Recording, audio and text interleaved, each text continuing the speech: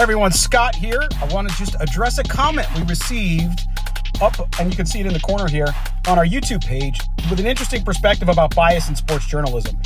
The commenter asked if I'm always wearing silver and black colored glasses or questioning whatever, noting a perceived negativity about my discussions around the Raiders. First off, I appreciate the comment and the thoughtfulness behind it.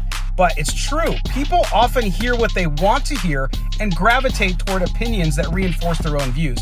It's a common human trait, not just in sports, but in all aspects of life. So, to answer your question, I strive for balance, but let's be real.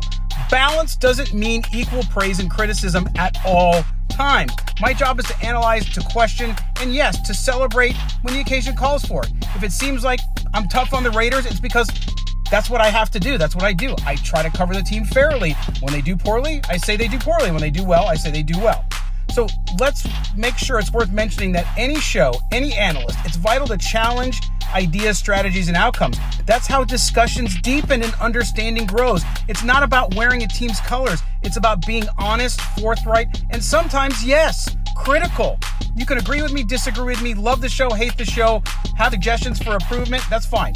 What matters is that we're engaging in debate and discussion. That's the heart of sports journalism, and that's what keeps the show dynamic and interesting. Mo and I both look at it that same way. And if you think I'm overly negative, you should check yourself and perhaps maybe say, hey, is he being negative or is he being fair? Because guess what? If you look at it from my perspective, I'm not an emotional fan. Mo and I both go back and forth. You say he's more balanced. You say I'm more balanced. Guess what? It's somewhere in between because we strive for that all the time. So thank you guys for joining us. Thanks for the comments. Keep them coming. I love the open discussion.